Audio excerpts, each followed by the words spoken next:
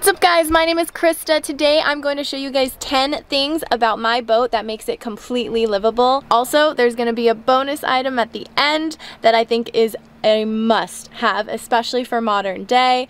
Um, so watch to the end to see that. Just so you guys know, I'm not a full-time liveaboard yet. I am working towards that. There's a couple things I need to add to my boat so I can get to that point, but that is my long-term goal. I want to live aboard the boat full-time and sail around from harbor to harbor and explore the world. So there's a couple things in this list that I don't have yet, but I am working towards getting. And yeah, let's get into it.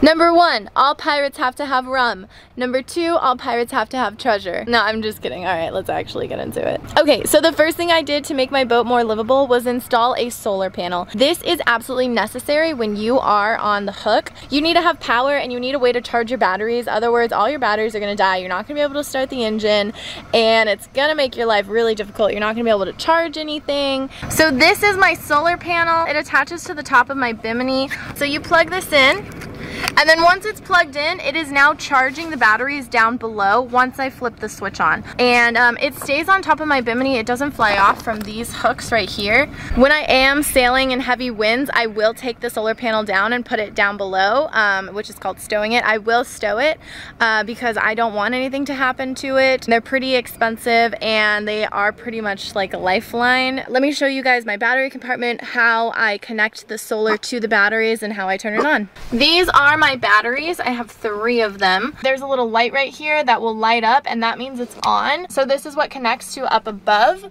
which connects to these clamps, which once you clamp them onto your positive and negative of your batteries, it will charge them. So my particular solar panel will keep my batteries charged as long as I um, have good sun. So whenever I'm out on the hook, I don't really worry about my batteries going low. Okay, so I also have another solar panel that will charge my dinghy batteries. It's down below. Um, let's get it and I'll show it to you guys. Okay, so this is the solar panel that I use to charge my dinghy battery, but basically I just lay it out on the front of my boat or if my batteries are completely charged, I'll lay it out on top of my bimini. Sometimes if it's not sunny enough, not it won't even get a full charge. Sometimes it takes up to two days to completely charge them, but it charges them enough to where if I need to go ashore and back, I have enough power. Uh, I don't really know what else to say about it besides this is the one I used to charge my dinghy battery. So let's put this away. Um, when I use the inverter, it pulls a lot of power, so I always try to make sure that I have the solar on when I'm using the inverter. This is what the front of my inverter looks like. This is the AC output, so as you can see, you can plug in three different things to it. And what I do is I take uh, the cord that's plugged into the wall right here, and I plug it down through this hole right there into the front of the inverter. That way, if I need to use any of these outlets while I'm on uh, not on shore power, I can use it. Okay, so I feel like that was kind of like five things in one, but um, that is it for the first thing. Let's move on to the next thing. Okay, so the next thing that every liveaboard absolutely needs is a dinghy. This is my dinghy. Check it out. So without a dinghy, you would not be able to get to and from shore when you're staying on the hook. Um, you would also not be able to get to and from shore when you're staying on a mooring. Like if you go to Avalon and you grab a mooring, uh, you need to get to shore somehow. Otherwise, you have to pay for the shore boat. Um, I use this dinghy to go over to the yacht club to uh, pick up my friends from the front of the dock sometimes for 4th of July water wars, which is so much fun. For cruising around the harbor, if you are living on the hook, you would use this dinghy to go get groceries. Think of it as like your car, okay? So a dinghy is basically like a car for boat owners. You stay on your boat, but then in order to get places, you use your dinghy. I don't know. okay, a dinghy is a necessity. Okay, so sticking to the outside of the boat, the next thing that is really important, um, if, especially if you're staying on the hook all the time, is a powerful, reliable windlass. Let me show you guys mine. So we're gonna open up my anchor. Oh, see? That is why you always use a safety thing. Let me move my snubber lines out of the way. Hey Keeks, what are you doing?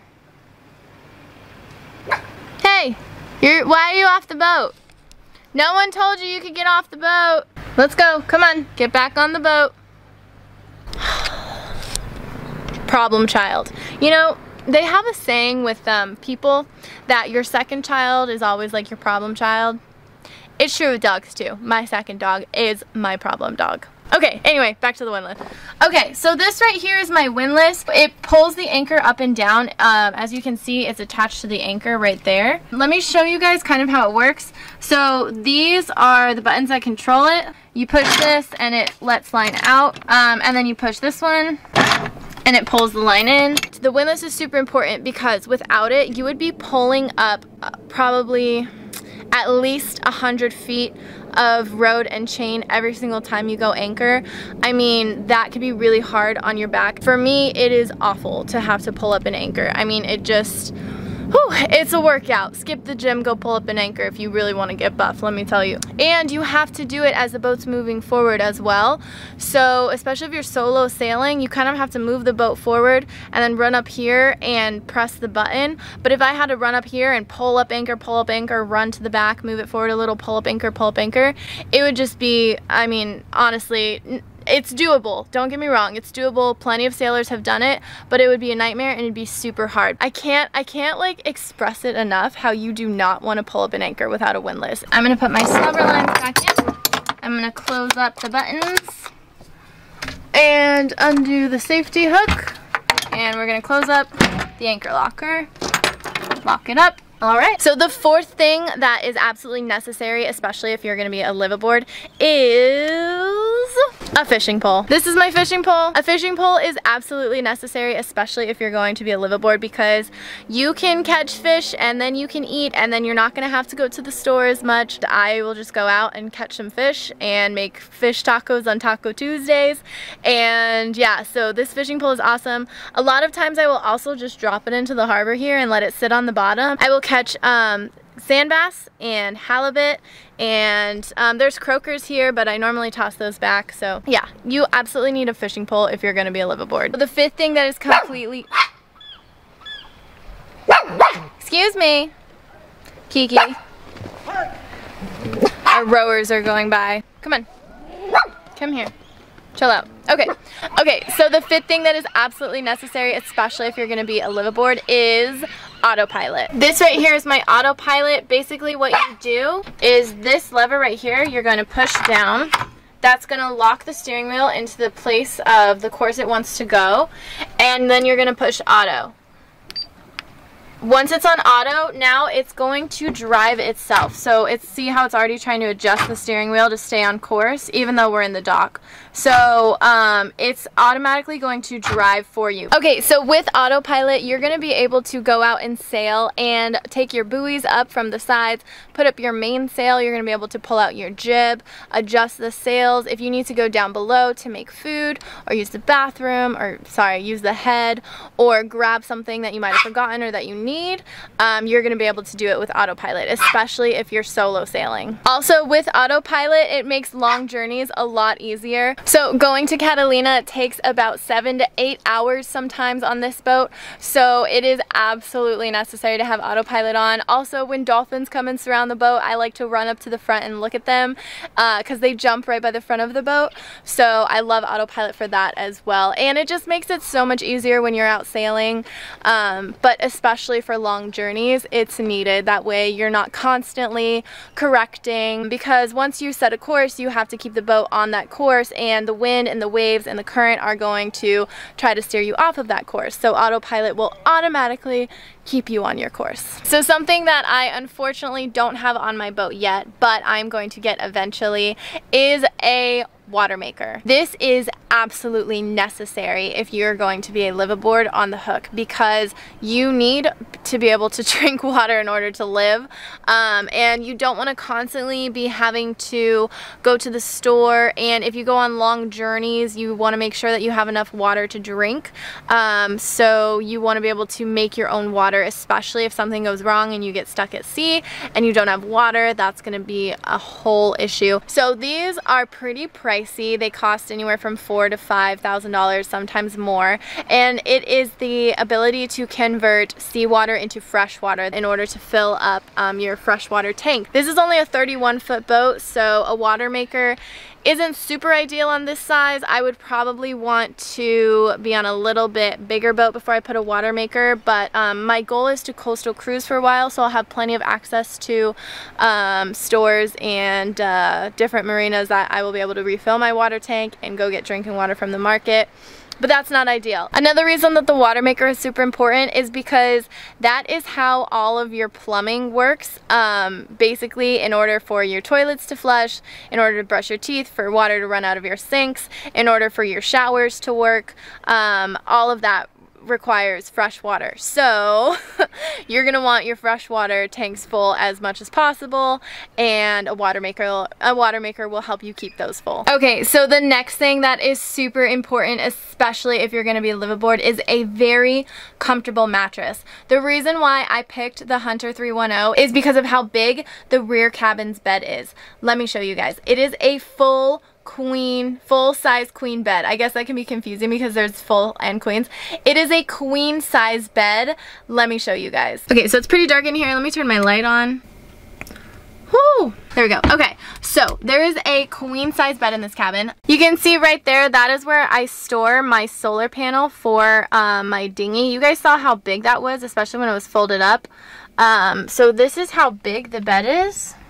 Not only is this bed huge, completely comfortable for me to sleep in, but my dogs also sleep in the bed with me and we have plenty of room. There's enough for two people in this bed plus two dogs. When I've taken a bunch of my friends sailing before, two of us have slept in there, two of us sleep in the V-berth, two of us sleep on the couches out there. This is completely necessary in my opinion to have a comfortable mattress, especially if you're gonna be on the boat full time. You're sleeping here every night. You don't wanna have neck neck problems or back problems or anything. But let me show you the other thing that's cool about this mattress is that it folds up. That way I am able to access underneath and um, this is actually how you get into where the stuffing box is and um, there's a couple storage things underneath. So let me guys, let me show you guys that. Okay, we're just gonna move all the pillows really quick.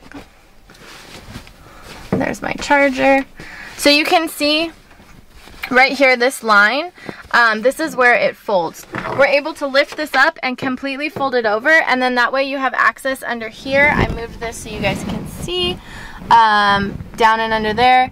That's where you can have access to your stuff stuffing box. There's also another compartment under here. Okay, so one of the last things that is really important to have on board is a working shower, a working toilet, and running water. So basically a full-size head with a working macerator as well. What is a macerator?